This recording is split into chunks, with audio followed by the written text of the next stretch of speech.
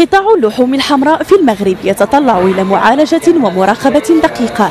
وضعية مزرية تعيشها المجازر الوطنية حسب تقرير المجلس الأعلى للحسابات.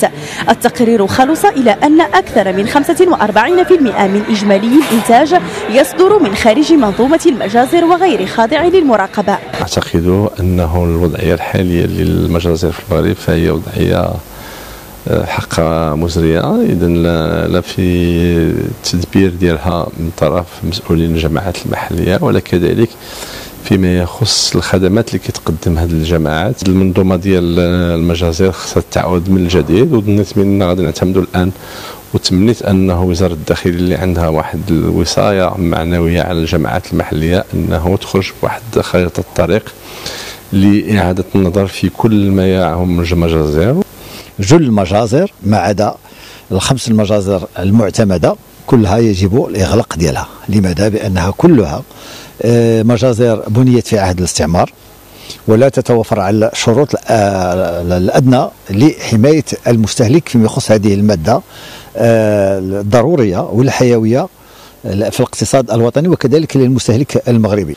انتقلنا إلى مجزرة الدار البيضاء لمعاينة وضعية المكان. المجزرة تحصل على الاعتماد من طرف المكتب الوطني للسلامة الصحية للمنتجات الغذائية وتحترم المعايير المتعارف عليها إضافة إلى أنها تخضع لمسطرة التتبع والمراقبة الصحية. مادام المجزرة الدار البيضاء أصبحت مؤهلة. وعندها une capacité de production مهمة.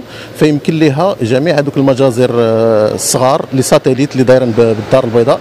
يمكن لها الذبائح ديالهم يبداو يتوجهوا لهذه المصدرة ويتم توزيع اللحوم عن طريق الشاحنات آه، المخصصة آه، اللي كتوفرت فيها الشروط الصحية ديال التبريد.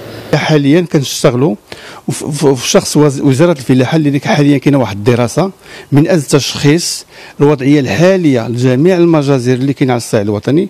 باش نشوفوا شنو هما المجازر اللي ما كيستجيبوش نهائيا للشروط وغادي ناخذوا قرارات باش يمكننا يمكن لهم يتغلقوا وشنو هما المجازر اللي هما فيهم واحد كيستجيبوا لبعض الشروط الأدنى اللي كيمكننا أننا نصلحوهم وأننا نأهلوهم ويصبحوا كيستجبوا الإنتاج الوطني من اللحوم الحمراء بلغ سنة 2016 حوالي 550 ألف طن إلا أن الكمية الإجمالية المنتجة في المجازر المراقبة لم تتجاوز 329 طنا علما أن خمسة مجازر فقط على المستوى الوطني حاصلة على الاعتماد من طرف المكتب الوطني للسلامة الصحية للمنتجات الغذائية.